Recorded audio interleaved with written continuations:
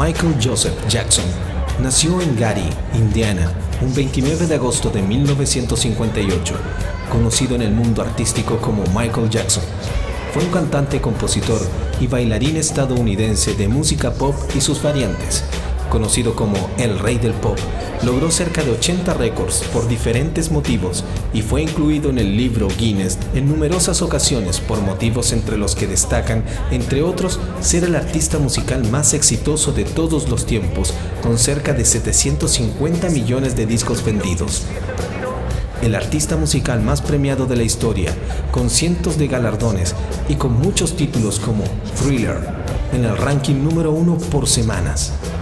El año 2009 se preparaba para su último concierto, el cual no alcanzó a realizar ya que sufrió un paro cardiorrespiratorio el día 25 de junio del 2009, lo que dio paso a su muerte.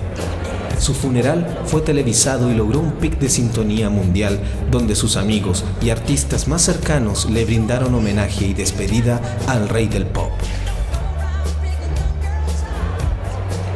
Esta noche, Franco se viste de lentejuelas para traer a la vida a Michael Jackson.